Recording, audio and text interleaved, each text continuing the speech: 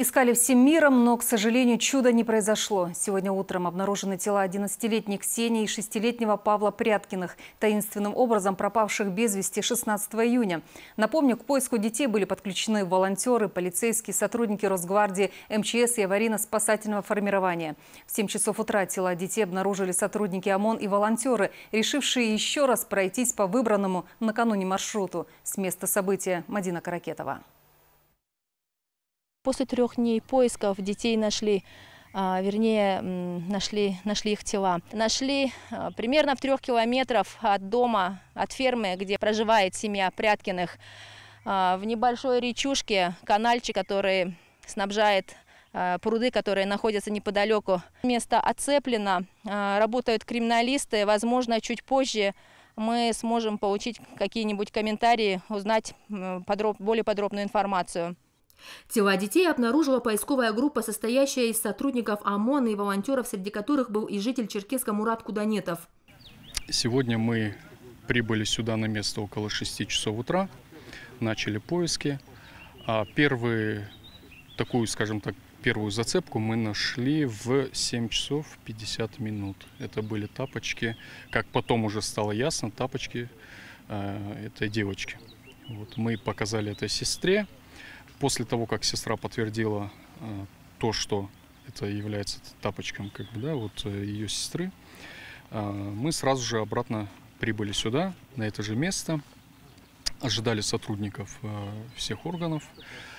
А, и пока мы ожидали, мы первым делом также обнаружили в метрах, полутора метрах от этого места, где мы обнаружили первый тапочек, вторую пару, то есть пару, да, и Потом уже подойдя ближе к берегу, а, мой товарищ присмотрелся и обнаружил тела. Обнаружили мы их вместе, да, в одном месте, в воде.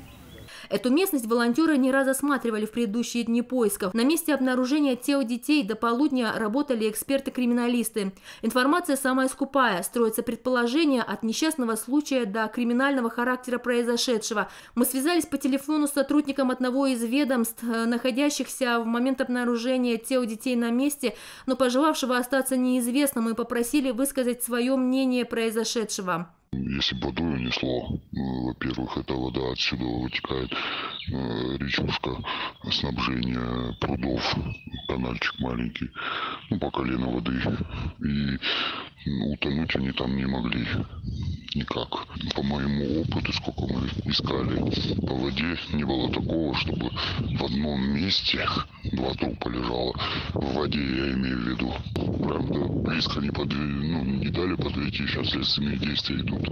По словам задействованных в обследовании места обнаружения тел детей и сотрудников, есть множество нюансов, которые необходимо проверить и перепроверить, прежде чем сделать какие-либо выводы. Тела детей забрали на экспертизу. Местность тщательно изучается. Не упускается ни одна мелочь, способная пролить свет на тайну разыгравшейся здесь трагедии, вплоть до подозрительно примятой травы.